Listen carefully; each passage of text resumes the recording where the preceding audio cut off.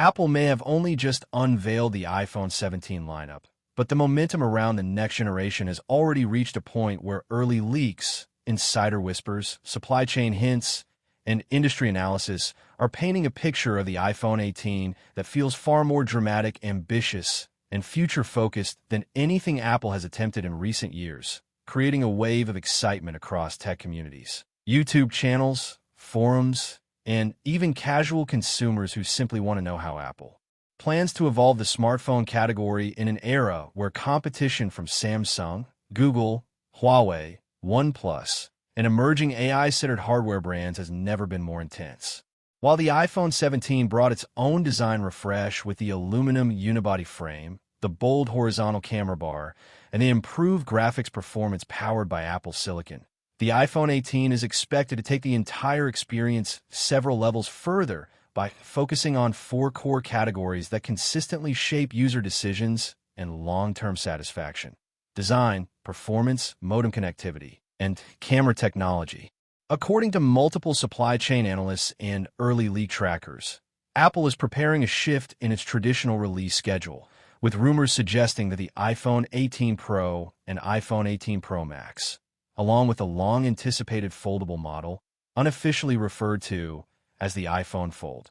may be introduced at Apple's September 2026 fall event, while the base models, including the standard iPhone 18 and iPhone 18 Plus, could be pushed to March 2027, marking the first staggered launch. Strategy Apple has used for iPhones since the pandemic-induced delay of the iPhone 12 in 2020. This potential delay isn't necessarily bad news for consumers. Instead, analysts believe it could give Apple more time to polish new display technologies, refine the in-house modem, expand Apple Intelligence AI features, and optimize the battery life on the new 2nm A20 Pro chip, making the final product significantly better and more stable at launch. Meanwhile, design leaks reveal that Apple, although interested in full-screen iPhones with no notches or dynamic island cutouts, is unlikely to reach true under-display Face ID hardware until the iPhone 19 or later, meaning the iPhone 18 Pro models will reportedly keep a smaller, slimmer version of the dynamic island, closer to a punch hole style silhouette, offering a futuristic aesthetic without the usability problems that fully hidden sensors sometimes cause during early generations. There is also talk of Apple experimenting with more transparent rear glass finishes, subtle color tints, and advanced coatings that enhance the phone's premium feel while improving grip and durability making the iPhone 18 potentially one of the most visually distinctive models Apple has ever produced. On the connectivity front, Apple's long journey to move away from Qualcomm modems appears to be entering its next major phase. After years of setbacks, the introduction of the C1 modem in the iPhone 16 series and the improved C1X modem used in the iPhone Air model have shown that Apple's internal modem technology is finally catching up. For the iPhone 18, Leaks suggest the debut of the C2 modem, offering faster 5G performance, improved network stability,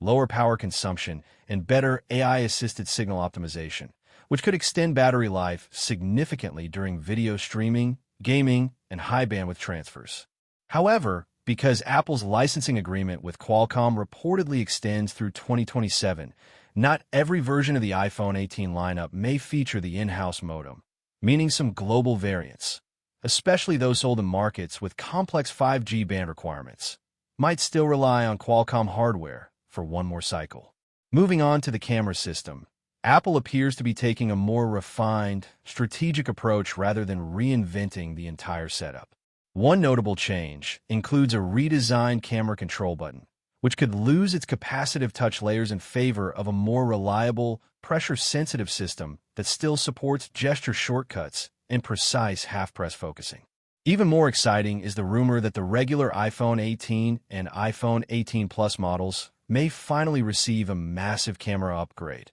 A 48-megapixel ultra-wide sensor, likely sourced from advanced Samsung ISOCELL or Sony IMX series hardware, giving base model users significantly better low-light photography, clearer night mode S, HOTS, richer landscape images, and smoother video capture. If true, This would be the first time Apple closes the gap this much between Pro and non-Pro models in terms of raw camera capability. But the biggest leap of all, the one generating the most hype across tech communities, is the performance jump expected from the new 2nanometer A20 Pro chip designed by Apple and manufactured by TSMC using next-generation lithography processes that allow for dramatically higher transistor density, improved thermal efficiency, and artificial intelligence optimization baked directly into the silicon. This chip is rumored to deliver game-changing improvements in real-time rendering, ray tracing graphics, machine learning acceleration,